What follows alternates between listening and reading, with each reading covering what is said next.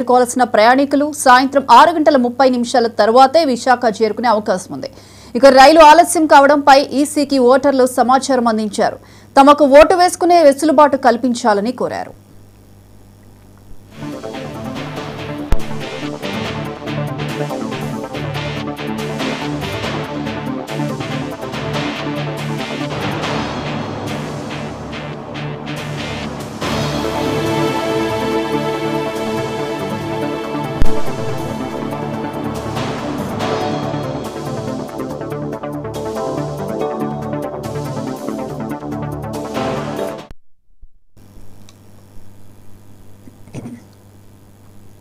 నాందేడ్ విశాఖ ట్రైన్లో ప్రయాణికులు ఆందోళన చేపట్టారు. తొమ్మిది గంటలు ట్రైన్ ఆలస్యంగా నడవడంపై ఆగ్రహం వ్యక్తం చేశారు.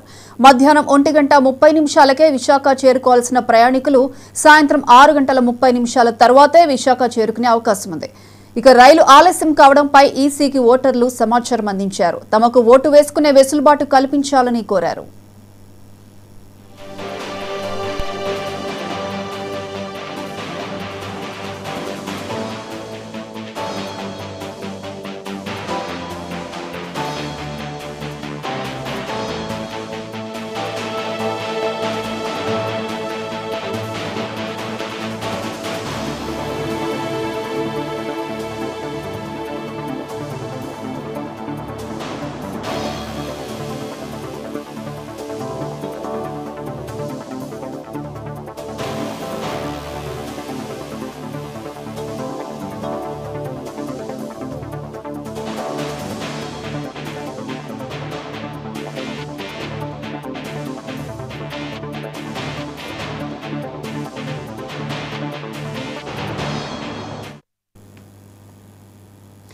నాందేడ్ విశాఖ ట్రైన్లో ప్రయాణికులు ఆందోళన చేపట్టారు. తొమ్మిది గంటలు ట్రైన్ ఆలస్యంగా నడవడంపై ఆగ్రహం వ్యక్తం చేశారు. మధ్యాహ్నం ఒంటి గంట ముప్పై నిమిషాలకే విశాఖ చేరుకోవాల్సిన ట్రైన్ సాయంత్రం ఆరు గంటల ముప్పై నిమిషాల తర్వాతే విశాఖ చేరుకునే అవకాశం ఉంది. ఇక దీనికి సంబంధించి లేటెస్ట్ అప్డేట్స్ మా ప్రతినిధి కిరణ్ లైవ్లో అందిస్తారు. కిరణ్. నిజాంపురం జ్యోతి. ఏదైతే సార్వత్రిక ఎన్నికలు ఆంధ్రప్రదేశ్లో జరుగుతున్న నేపథ్యంలో పెద్ద ఎత్తున ఓటర్లు తమ ఓటు హక్కును వినియోగించుకునేందుకు సుదూర ప్రాంతాల నుంచి కూడా పెద్ద ఎత్తున తరలి వస్తున్న పరిస్థితి మనకు తెలుస్తుంది. నిన్న మొన్నటి నుంచి కూడాను ఓటర్లందరూ కూడా ఎక్కడెక్కడైతే ఉద్యోగ ఉపాధి రీత్యా వేరే ప్రాంతాల్లో ఉంటున్నటువంటి వాళ్ళందరూ కూడాను బెంగళూరు కావచ్చు మరోవైపు చెన్నై కావచ్చు అదేవిధంగా హైదరాబాద్ కావచ్చు ఈ ప్రాంతాల నుంచి ఆంధ్రప్రదేశ్లో వాళ్ళ వాళ్ళ సొంత ఊళ్ళకి వెళ్ళి ఓటు వేసుకునేందుకు అలా ఉత్సాహం కనబరుస్తున్న పరిస్థితి. ఈ నేపథ్యంలో ఏదైతే నాందేడ్ ఉందో అక్కడి నుంచి కూడా పెద్ద రోజు ఈరోజు విశాఖపట్నం తమ ఓటు హక్కును వినియోగించుకునేందుకు విశాఖపట్నం చేరుకునేందుకు నిన్న సాయంత్రం సుమారు నాలుగున్నర ప్రాంతంలో నాందేడ్ విశాఖ ఎక్స్ప్రెస్ ట్రైన్లో వాళ్ళంతా కూడా బయలుదేరడం జరిగింది. అయితే ట్రైన్ బాగా ఆలస్యం కావడం యాక్చువల్గా ఈ రోజు ఉదయం తొమ్మిది గంటల పది నిమిషాలకు వైజాగ్ చేరుకోవాలి నాందేడ్ ఎక్స్ప్రెస్ ఏదైతే ఇటు బాసర్ కావచ్చు మరోవైపు సికింద్రాబాద్ ఇంకో పక్క రాయనపాడు మీదుగా ఇటు ఏలూరు అలాగే వైజాగ్ వరకు కూడాను ఆ ట్రైన్ జర్నీ ఉంటుంది. అయితే ఇది హఠాత్తుగా బాగా బండి లేట్ కావడంతో దాదాపు నైన్ అవర్స్ డిలేగా నడుస్తున్నదని చెప్పి ఇప్పటికే రైల్వే అధికారులు చెప్పిన పరిస్థితి. దీంతో ఒక్కసారిగా ఎవరైతే తమ ఓటు హక్కును వినియోగించుకున్న వాళ్ళకి ఏమైనా ఎంతో ఆసక్తితోటి వస్తున్న పరిస్థితి వీళ్ళకి ఒకసారిగా నిరుత్సాహమైన పరిస్థితి నెలకొంది. ముఖ్యంగా తొమ్మిది గంటల పాటు ఆలస్యం కావడంతో సాయంత్రం ఆరు గంటలతోనే పోలింగ్ ప్రక్రియ పూర్తవుతుందని చెప్పి ఇప్పటికీ ఎన్నికల కమిషన్ స్పష్టమైనటువంటి ఆదేశాలు జారీ చేస్తున్న నేపథ్యంలో తాము ఎంతో ఆశతోటి ఆంధ్రప్రదేశ్ వస్తున్నామని చెప్పి తమ ఓటు హక్కును వినియోగించుకుందామని వస్తున్న నేపథ్యంలో ఈ పరిస్థితి ఎదుర్కోవడం కేవలం ఇది రైల్వే తప్పిదంగానే వాళ్ళు భావించి ఖచ్చితంగా తమకు అవకాశం ఇవ్వాలని చెప్పి ఇప్పటికే ఇన్స్టిట్యూట్ వాళ్ళు సమాచారం అందజేశారు.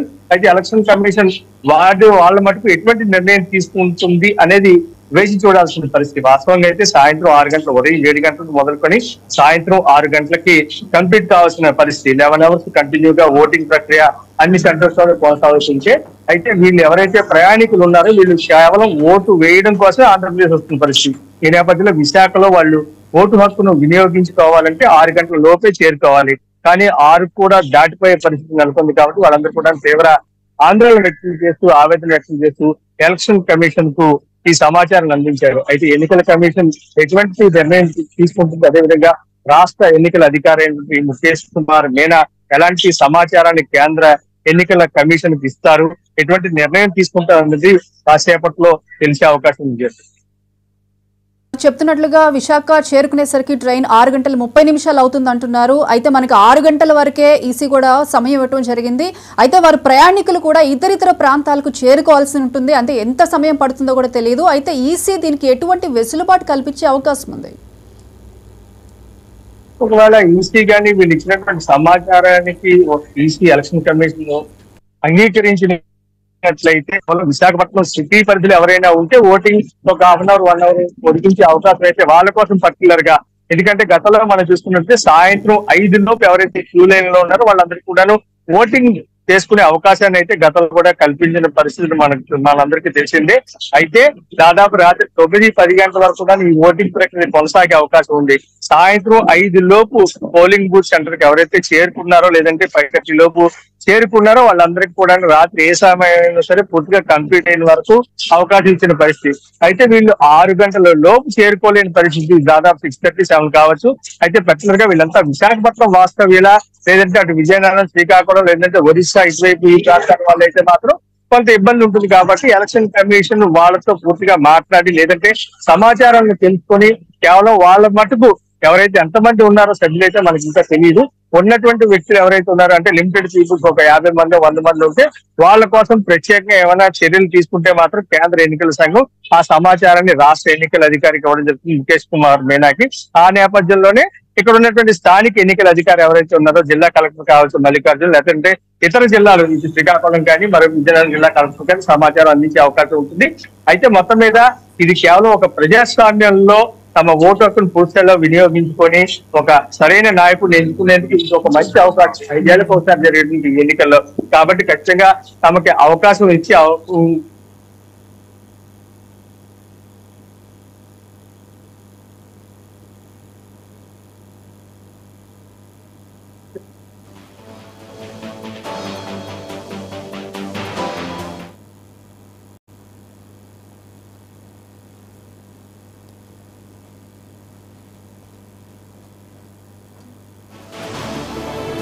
కిరణ్ చెప్పండి.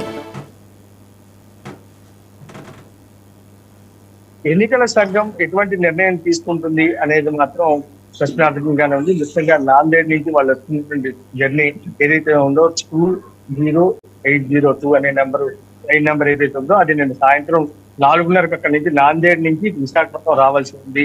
రాత్రి తొమ్మిదిన్నర గంటల ప్రాంతంలో హైదరాబాద్ చేరుకుని సికింద్రాబాద్ నుంచి అక్కడి నుంచి ఈ ట్రైన్ విశాఖ వచ్చేటప్పటికి మార్నింగ్ నై- తొమ్మిది గంటల పది నిమిషాలు అవుతుందని చెప్పి ఒక సమాచారం ఉంది. అయితే ఇది హఠాత్తుగా సాంకేతిక లోపల టెక్నికల్ ప్రాబ్లం వల్ల రైల్వే పరంగా చూసుకున్నట్లయితే దాదాపు తొమ్మిది గంటలు ఆలస్యంగా చేరుకునే పరిస్థితి విశాఖపట్నం అయితే సాయంత్రం ఆరు ఆరు ప్రకటన చేస్తుంటే మాత్రం ఖచ్చితంగా వీళ్ళకి ఓటింగ్ చేసుకునే అవకాశం అయితే ఉండదు.